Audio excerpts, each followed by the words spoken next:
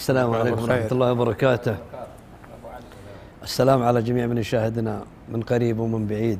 نصبحهم بتحية الإسلام ونقول السلام عليكم ورحمة الله وبركاته.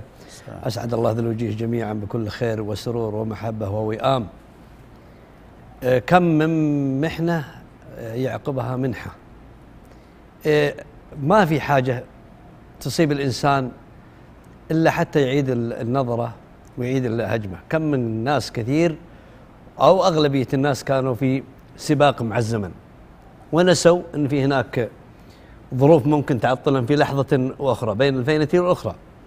ما كان أحد يدري بهالجائحة مثلا. العامل يسعى ويريد يفتح مشاريع والتاجر يبغى يوسع من تجارته وحنا نسعى في هالدنيا.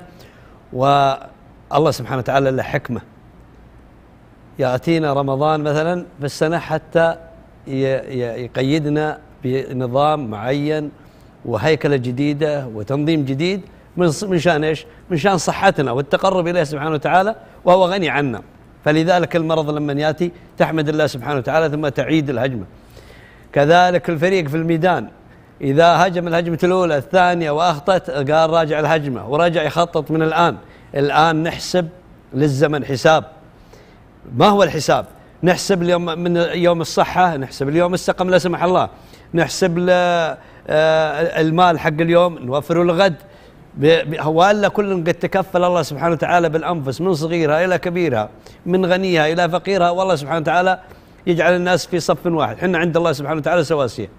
عند الله. أن أكرمكم عند الله أتقاكم. فعلينا اولا أن نتمسك بعروة الله سبحانه وتعالى. ومن كان همه الخوف من الله سبحانه وتعالى والله لا يوجد عليه خوف ولن يخاف مهما كان الأمر. ليه؟ لأنه عمل بما أمره الله سبحانه وتعالى إذا يرزقه الله سبحانه وتعالى بما وعده فلكن ما ننسى ولا تنسى نصيبك من الدنيا. نعمل مع الله سبحانه وتعالى أعطانا الله سبحانه وتعالى خمس صلوات في اليوم والليل. كان الله سبحانه وتعالى الذي خلق كان يقدرها وجعلها في وقت واحد. وترك البقية لكن يخشى علينا من آه، النسيان والفساد لا سمح الله. فلذلك حتى نرجع إلى الله سبحانه وتعالى ثم نطلب نمشي في مناكب الأرض ونطلب الرزق ثم ننام ثم نقوم وهكذا لو كانت سعادة دائما لنسينا الدين. ولو كانت في عبادة لا نسينا عملنا والإنسان ما بين المد والجذر وما بين السعي وما بين الكد وما بين. فحنا الآن آه، آه، نقول اولا آه، أسأل الله الذي لا إله غيره أن يكون في عونكم آه، يكون في عون الدولة أولا وأن يحفظ الدولة لنا آه، قائدا وشعبا. ليه؟ لأن فعلا تعاملنا. أنا شفت منظر بسيط وهذا لا وهذا لا يعني لا يقتدى به. مثلا في دولة ما ما أدري والله أي دولة حتى يأخذ تطعيم ولقي واسطة يعطونه حبال يطلعونه مع الدريشة للدور الرابع حتى يعطونه تطعيم. هذا اللي يلقى واسطة. شاهدت أنا بس والله ما أدري فين.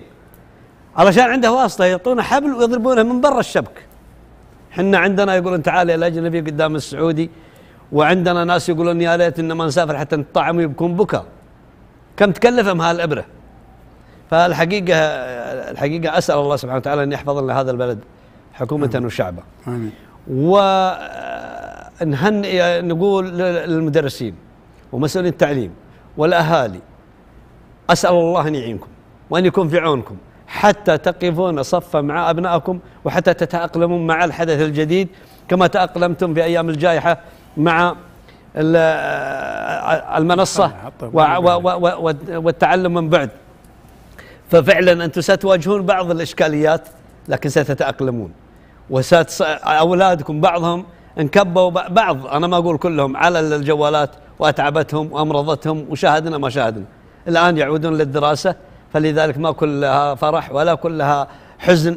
الدنيا بين المد والجذر كما قلنا فأسأل الله أن يكون في عوننا وعونكم جميعا ولكن الهدف الأول والأخير هو تقوى الله هو تقوى الله هو تقوى الله. وصلى الله وسلم على نبينا محمد صلى الله عليه وسلم. اللهم صل على محمد. جزاكم الله خير